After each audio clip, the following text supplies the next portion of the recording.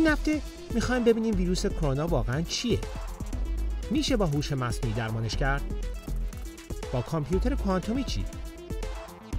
وقت بشه یه دور هم با صندلی چرخدار خودران می‌زنیم حس ملکه بهم دست داده. سلام.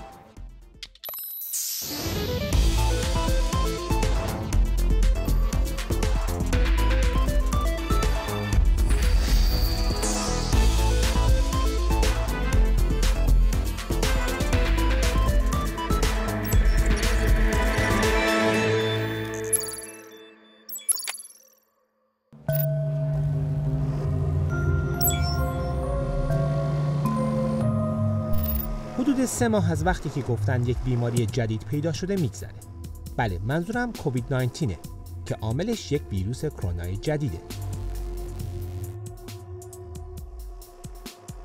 تاکنون نزدیک به 130 هزار نفر از این بیماری مردند و نزدیک به دو میلیون نفر به این بیماری مبتلا شدند. آمار رو دارم از اینجا میگم از پورتال کووید 19 دانشگاه جانز هاپکینز.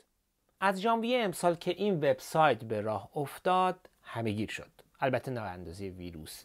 کارش اینه که اعداد و ارقامی رو که سازمان های بهداشتی در جهان منتشر می‌کنن به شکل قابل فهم در میاره. مثلا در این نقطه وبسایت بشه فهمید که نزدیک به دو میلیون نفر تا به امروز به این بیماری مبتلا شدن. زیرش هم اسامی کشورها را آورده و به تفکیک نوشته که هر کشور چقدر مبتلا تا به امروز داشته. مثلا در مورد ایران نوشته که 76389 نفر تا الان به این بیماری مبتلا شدند. البته بعضی از کشورها به هر دلیلی ممکنه که این عدد رو پایین تر اعلام کنند. این قسمت وبسایت هم بسیار مهمه. برای اینکه داره بهمون میگه که تعداد مبتلایانی که بهبود پیدا کردن چند نفره. مثلا داره میگه که بیشتر از 500 هزار نفر تا الان خوب شدن.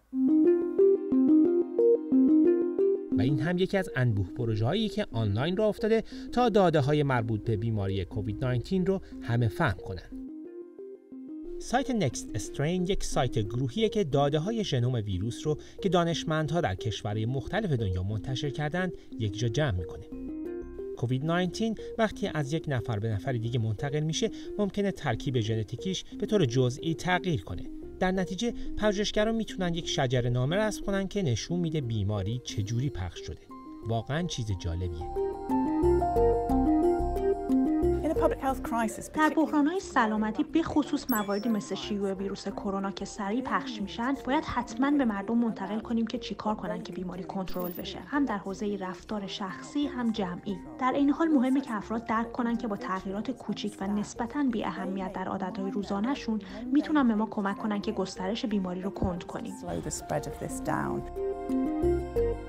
سال 2018 بی بی سی یک آزمایش انجام داد تا ببینه یک بیماری آنفولانزا مانند چجوری در یک شبکه گوشی های هوشمند که مثلا آلوده شدن پخش میشه؟ به نظرم اون برنامه به خوبی نشون داد که کارهای ساده ای مثل شستن دست می‌تونه تاثیر بسیار زیادی بر سرعت و دامنه پخش بیماری داشته باشه. تصویر سمت راست مال حالتیه که همه دست هامون رو خیلی با دقت بشوریم. سمت چپ حالتیه که این کار رو نکنیم. ببینید اگه دستامون رو درست و مرتب بشوریم شیوع بیماری چقدر کند میشه؟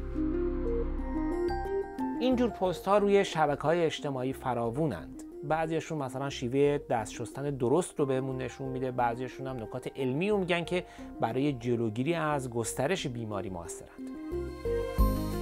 منتها اگه آنلاین دنبال اطلاعات درباره ویروس کرونا بگردید به چیزهای دیگه هم برمیخورید در چند ماه گذشته شبکه های اجتماعی هم به موازات دانشمندها درگیر جنگ با یه جور پاتوژن دیگه بودند. سازمان بهداشت جهانی اسمشون رو گذاشته اینفودمیک یعنی شبکه های اجتماعی زیر سیل اطلاعات مربوط به ویروس کرونا غرق شدند. بعضی از اطلاعات درست و مفیدند ولی بخش بزرگی هم گمراه کننده، نادقیق یا به تمامی جعلی هستند و این موضوع پیدا کردن و دسترسی به اطلاعات درست رو خیلی سختتر کرده. مثلا در تیک تاک وقتی که ویروس کرونا یا مطالب مشابه رو وارد می کنید این نوار بالاتر از بقیه میاد که مربوط میشه به سازمان های معتبر و شناخته شده. نظرهای نامربوط و گمراه کننده حذف شدند و مثلا نوشته های مربوط به توری های توته دیگه تو موتورهای جستجو بالا نمیان. در فیسبوک هم اتفاق مشابهی افتاده. وقتی که جستجو می‌کنید مطالب و نوشته های مربوط به سازمان های معتبر بالاتر از بقیه نوشته ها ظاهر میشن یکی از اطلاعات غلطی که دست به دست میشه اینه که اساسا بحرانی در کار نیست. کل ماجرا رو در آوردن که مردم رو کنترل کنن. اینجور حرفها همیشه بوده و الان هم هست. یا مثلا بعضیا درمانهای من درآوردی ارائه می‌کنن. مثلا آب سیر بخورین یا چیز دیگه. یا اگه فلان چیزو بخورین فلان طور میشه. یا بعضیا میگن درمانش کشف شده فقط اعلام نمی‌کنن. این یکی هم از اون شایعه هایی که الان پخش شده و خب باید باشون مقابله کرد. اگه نکنی مردم کارایی رو که ازشون خواسته شده انجام نمیدن. بنابراین خیلی مهمه که پیام درست و علمی رو به مردم برسونیم. کاری که ما داریم تلاش می‌کنیم انجام بدیم.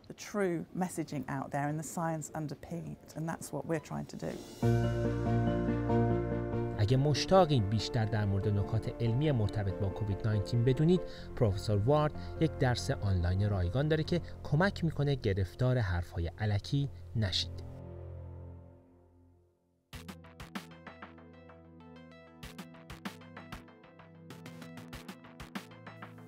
خلاصه وضعیت اینطوریه و ویروس داره همین طوری پخش میشه. سوال اصلی اینه که با چه سرعتی و چقدر پخش میشه؟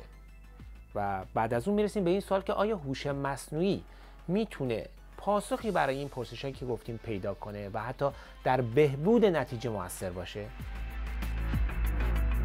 هوش مصنوعی در مراحل اولیه فهم این شیوع نقش مهمی داشت. شرکت کانادایی بلودات متخصص اطلاعات اپیدمی های جهانیه و با ترکیبی از داده های درمانی و هواپیمایی خیلی زود متوجه شدند که یه جای کار ایراد داره.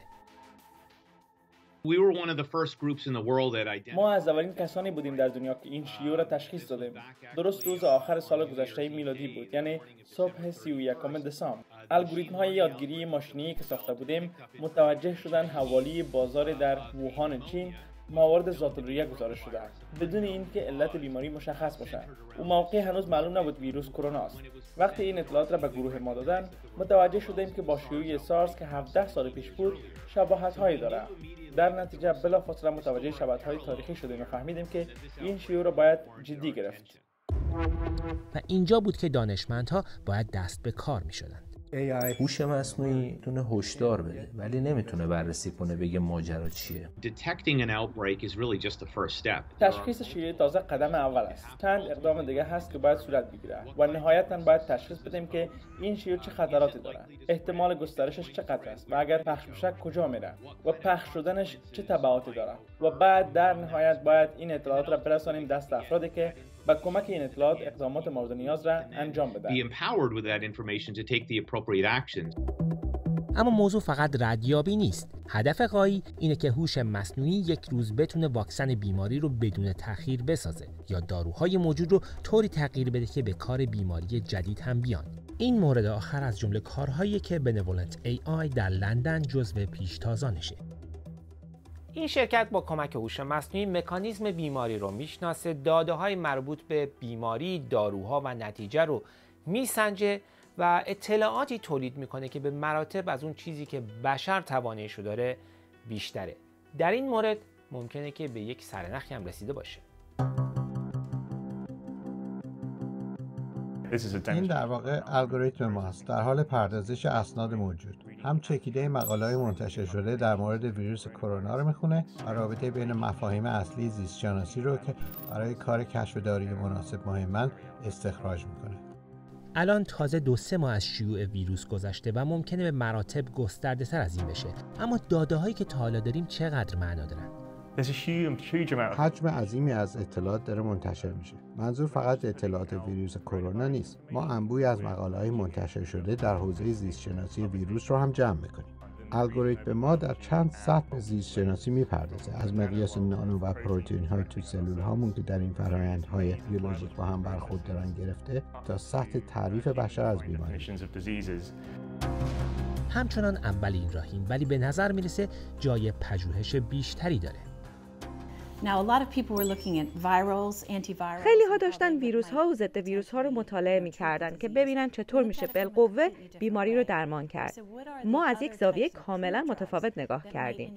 گفتیم چه داروهای تایید شده دیگه ای داریم که ممکنه جلوی پیشرفت این بیماری رو در بدن بگیرن. بعد یه تعداد دارو رو بررسی کردیم و یه تعداد آزمایش ترتیب دادیم و تحقیقات اضافی کردیم و نهایتا رسیدیم به دارویی که به نظرمون از همه مناسب تره. هم خواص ضد التهاب داره و هم قابلیت متوقف کردن درونبری یا اندوسیتوز. که خاصیتی که باعث میشه ویروس وارد ریه بشه که خب بالقوه خطرناکترین پیامد ویروس کرونا. پژوهشگران این شرکت تاکید دارند که حرفشون همچنان در حد فرضی است و گرچه داروی مورد نظر برای روماتیسم تایید شده ولی برای اینکه برای درمان این بیماری حتی بهش فکر بشه باید آزمایش های کامل بالینی انجام بشه و شواهد علمی گردآوری بشه. تلاش ما اینه که از این فناوری در راه علم استفاده کنیم و به پیشرفت درمانهای جدید برای بیماری هایی که هنوز درمانی براشون پیدا نشده کمک کنیم. الان در دنیا بیش از 9000 بیماری داریم که هیچ درمانی ندارن. نقش هوش مصنوعی از اون چه الان هستن بیشتر میشه چون توالی ژن ها هم داره وارد فرایند میشه و این یعنی فهم خود ارگانیسم ها یعنی چیزی به بانک داده وارد میشه که نشون میده ویروس از کجا اومده و در آینده ممکنه کجا بره. البته هوش مصنوعی هنوز بحران کووید 19 رو حل نکرده اما میشه امید داشت تا حدی کمک کرده باشه و با درسی که گرفته در شیوعهای آینده بیشتر به کار بیاد.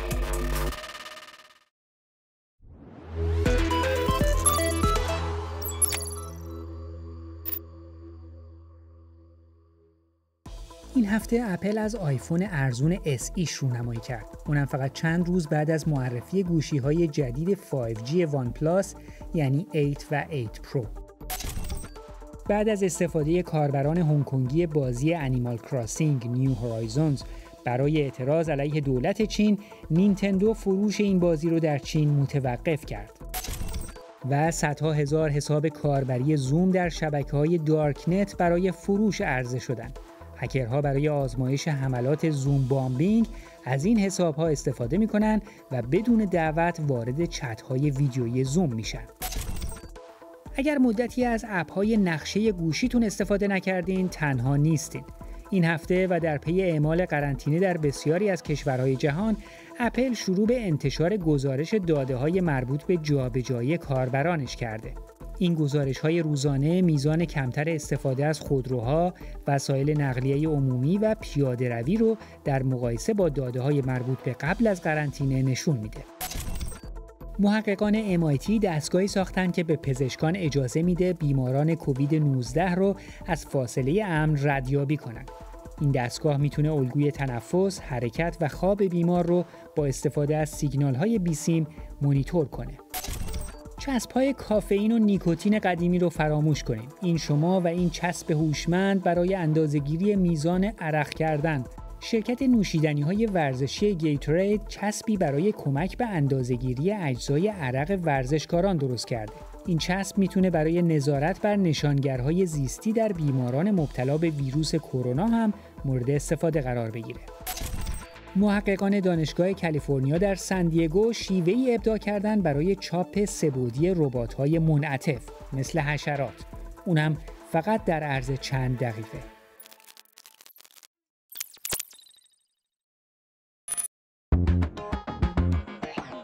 این طرح جدید گوشی که از موبایل تبدیل میشه به یک تبلت 7 و 8 دهم اینچ. این یکی از چند نمونه آزمایشی که شرکت چینی TCL ارائه کرده. توی این تر به جای اینکه نمایشگر خم بشه جمع میشه توی خود تلفن. اینجوری دیگه روی صفحه نمایشگر خط یا چین نمیافته. اون چیزی که به ما نشون دادن قوطی خالی بیش نبود. در واقع یک پوسته که توش چیزی نیست. مسئولان TCL میگن دارن روی نمونه واقعیش کار می‌کنن. ساخت این دستگاهی هزار یک جور چالش داره. یکی از اولیناش می‌تونه باشه که چطور جلوی ورود گرد و غبار به دستگاه رو بگیریم تا باعث خط افتادن روی نمایشگر نشه. اما راستش رو بخوای طراحیش به نظر خیلی قشنگ. این هم یک طرح دیگه است. تبلتی که از وسط تا میشه. وقتی بسته است مثل یک لپتاپ خیلی کوچیکه. به نظرم طرح بامزه بین همه طرحهایی که از TCL دیدم به نظرم این یکی از همه معقولتر و جدیتر بود. و اما تبلت سلا. در واقع یک تبلت ده اینچی که میشه یک گوشی خیلی حجیم. دو تا لولا داره. یکی به جلو تا میشه یکی به عقب. به هر شکل عجیب و غریبی میشه تاش کرد. البته راستش نمی‌دونم چرا کسی باید بخواد چنین کاری بکنه. هیچ کدوم این طرحها هنوز عرضه نشدن. TCL هنوز نمی‌دونه که قراره چه قیمتی روشون بذاره.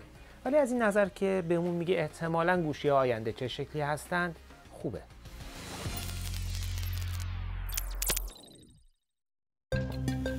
اگر قرار باشه کامپیوترها در آینده در تولید واکسن برای مقابله با خطراتی مثل کووید 19 به ما کمک کنند باید کامپیوترهایی باشند که با کامپیوترهای امروزی هم در ظاهر و هم در باطن فرق داشته باشند. اسپنسر کلی به سراغ یکی از این کامپیوترها رفته. این یک کامپیوتر کوانتومیه. یکی از کامپیوترهای کوانتومی گوگل. و با اینکه هنوز اول راهیم ولی پژوهشگران معتقدند پردازشگرهای کوانتومی در نهایت برای حل مسائل خیلی پیچیده پزشکی به درد می‌خورند. در خیلی از محاسبات علم شیمی از همون اول کار باید تقریب بزنیم و خب این باعث میشه دقت نتیجه‌ای که به دست میاریم بیاد پایین. با پردازش کوانتومی امیدواریم روزی برسه که بتونیم در زمانی کوتاه با دقت بالا محاسبه کنیم. کامپیوترهای کوانتومی خواص عجیبی دارن. از جمله اینکه می‌تونی در هر لحظه چندین راه حل برای یک مسئله رو بررسی کنن. وقتی واقعا بفهمیم چجوری میشه در ابعاد واقعی ساخت و به کارشون گرفت در بعضی کارهای مشخص به مراتب کاراتر از کامپیوترهای معمولی خواهند بود. و به نظر می‌رسه داریم به اون رویای کوانتومی نزدیک میشیم. دو سه ماه پیش در نمایشگاه CES IBM که از رقبای اصلی گوگل در عرصه کوانتوم دستگاه کیو سیستم وان رو آورده بود که پوز بده. این یکی از قشنگترین چیزهایی که در زندگیم دیدم. شاید به خاطر اینکه خوره این چیزا. میشه لطف کنی یه توضیحی بدی که چی به چیه؟ حتما. اینی که بیرون می‌بینی خنک کننده است. گذاشتیم اینجا که همه چی رو خنک نگه داره. تراشه کوانتومی اون ته ته کامپیوتره. اگه اونجا رو نگاه کنی قاعدتا باید ببینی. اون وسط. شبیه یه چهارگوش کوچیکه. در این دستگاه به خصوص روی اون چهار گوش کوچیک حدود 20 تا کیوبیت داریم که همه به هم وصلن. وقتی کار می‌کنه داخلش سردترین جای دنیاست ته این کامپیوتر کوانتومی 100 برابر از فضا سردتره. چجوری باش کار می‌کنید؟ چجوری بهش دستور میدین و چجوری ازش جواب می‌گیریم؟ پالس های موج کوتاه میفرستیم و این تبدیلش می‌کنه به فضای qubit. در واقع برنامه نویسی کامپیوتر کوانتومی اینجوریه. در اصل ما کنترلش می‌کنیم. مثلا میشه از روی لپتاپ کنترلش کرد. پورت USB هم داره. نه. اینا رو از روی cloud استفاده می‌کنیم. قاعدتا برنامه‌ای که برای کامپیوتر کوانتومی می‌نویسین هیچ ربطی به برنامه‌ای که برای کامپیوتر معمولی می‌نویسین نداره. داره؟ نه کاملا فرق می‌کنه. بعضی از مفاهیم به نوعی شبیه مثلا اینکه گیت های مختلف داری ولی دیگه با صفر و یک برنامه نمی نویسی در واقع چیزی که می نویسی اگه نگاش کنی به نوت موسیقی خیلی شبیه تره یعنی خطوط کیوبیت داری و بعد گیت های مختلف داری که با هم در ارتباطن و کلش شبیه یه قطعه موسیقیه بله در تئوری هرچی qubit ها بیشتر باشن کامپیوتر محاسبات پیچیده تری می‌تونه انجام بده اواخر سال گذشته میلادی گوگل اعلام کرد کامپیوتر کوانتومیش یه محاسبه مشخص رو به مراتب سریعتر از هر کامپیوتر غیر کوانتومی انجام میده که این به این معناست که گوگل به موقعیتی رسیده که بهش میگن برتری کوانتومی. ولی آی بی ها میگن این حرف گول زنکه. اون یه مورد خیلی خاص رو نشون می‌داد. آزمایش جالبی بود ولی به نظرم هنوز خیلی جای کار داره. اون یه مثال خیلی خاص بود. به نظرم هنوز راه زیادی مونده تا بست پیدا کنه و به جایی برسه که کاربردی تر بشه. منظورم اینه که من خودم ترجیح میدم بهش بگم امتیاز کوانتومی. امتیاز کوانتومی از نظر من اون لحظه ایه که یه محاسبه رو روی کامپیوتر کوانتومی انجام میدی که با کامپیوتر عادی نمی‌شد انجام داد. مثلا همون مورد شیمی که گفتم. وقتی که بشه گفت به اونجا رسیدیم که محاسبات مربوط به یک مولکول رو با دقتی انجام بدیم که امروز با کامپیوترهای عادی شدنی نیست. یا مثلا دو برابر طول می‌کشه یا زحمت داره. هم IB M هم گوگل معتقدند که در آستانه یک اتفاق بزرگ در پردازش کوانتومی هستیم. IBM میگه دهه 2020 میلادی دهه کوانتوم خواهد بود. اگه اینجوری بشه دفعه بعد که یه ویروس جهانگیر بشه سلاحهای قوی تری برای مهارش خواهیم داشت. مغز آدم سوت می‌کشه از این کامپیوترهای کوانتومی. اما بخش آخر برنامه اینجا درباره خودروهای خودران ما خیلی حرف زدیم و می‌زنیم. اما درباره صندلی های چرخدار خودران چی؟ طرح ایدهش چند سالیه که هست اما به خاطر اینکه قابل اعتماد نبوده چندان بهش پرداخته نشده. اما ژاپنیا میگن که یک راه حلی براش پیدا کردند. همکار ما پل کارتر رفته به فرودگاه JFK در نیویورک تا یکی از این صندلی های چرخدار خودران رو امتحان کنه. بیراه نیست که بگیم فرودگاه ها هیچ وقت برای معلولان جای راحت و بی دردسری نبوده. روال بیشتر فرودگاه ها و شرکت های هواپیمایی اینه که اگه کسی مشکل حرکتی داره باید از قبل بگه و درخواست کمک بکنه. در عمل معمولا اینجوریه که یک نفر ویلچر اون شخص رو حل میده می‌بره جایی که در ترمینال برای همین منظوره. نتیجه اینکه اون شخص استقلال و آزادی عمل آدم های دیگر رو نداره. ولی این ممکنه همه چی رو عوض کنه. اسمش رو گذاشتن صندلی چرخدار خودران ویل. در نگاه اول فرق چندانی با ویلچر معمولی نداره. ولی به لطف فناوری خیلی هوشمندانه ای که این جلو نصب شده دست کم بالقوه می‌تونه مسافر رو از بخش بازرسی و فروشگاه ها رد کنه بیاره تا دم یکی از این گیت های پرواز که پشت منه. جلو صندلی دو تا دوربین با دامنه دید بالا داره. پشتش هم دوربین داره. به علاوه لیدار و حسگرهای مادون قرمز. موقع حرکت از همه اینها استفاده می‌کنه که با چیزی تصادف نکنه. قبل از اینکه ولش کنن وسط مسافرها باید چندین روز مسیرهای مختلف توی ساختمان ترمینال رو یاد بگیره. مثلا امروز ترمینال هفت فرودگاه JFK همینطور که حرکت می‌کنه نقشه داخلیش کامل میشه که بعد از روی اون بفهمه کجاست. من برای آزمایش دو روزه اومدم. ببینم چه خبره. اولین قدم شناخت محل است. یعنی باید محیط فرودگاه را بفهمم. مثلا اینکه مسافرها چطوری موقع سوار شدن صف میبندند یا کلا جمعیت در ترمینال چطوری جابجا می شود چه ساعت شلوغ است و چه ساعت نیست. چیزهایی از این دست. در مرحله بعد وارد فاز عملیاتی میشیم. یعنی اینکه چطوری میشه ای را به خدمات ویلچری موجود در فرودگاه اضافه کرد. همونطور که گفتم ایده صندلی چرخدار خودران چیزی جدیدی نیست. ولی نمونه ای که ویل ساخته اولین نمونه است که در محیط واقعی فرودگاه آزمایش میشه. البته همین هم صرفا شما رو از بازرسی رد می‌کنه و محدود به ترمینال. یعنی مشکل سوار و پیاده شدن از هواپیما همچنان به قوت خودش باقیه. این آزمایش با همکاری British Airways انجام میشه British Airways دنبال اینه که ببینه چطور میشه با فناوری تجربه سفر رو برای مسافرهای معلول خوشایندتر کرد. و ناگفته پیداست که منم نتونستم جلوی خودم رو بگیرم یه دور نزنم. فقط دکمه برو رو می‌زنی و تمام. داره میره سمت گیت سه. اگه بخوام ایراد بگیرم حرکت به نرمی اینکه یکی هل بده نبود. صندلی هر بار که حس می‌کنه آدم یا مانع جلوشه ترمز می‌کنه. و خب در فرودگاه شلوغی مثل JFK از این موانع زیاده. ولی خاطرم جمعه. حس نمی کنم هر لحظه ممکنه بزنم به یکی. حس ملکه بهم دست داده. سلام. بعد از چند دقیقه تفریح باید صندلی رو میسپردم به آدمهای مهمتر یعنی مسافرهای واقعی که می‌خواستن برای بار اول امتحانش کنن. ولی برنامه اونطور که فکر می‌کردن پیش نرفت. فکر کنم تلسم کلیک بود.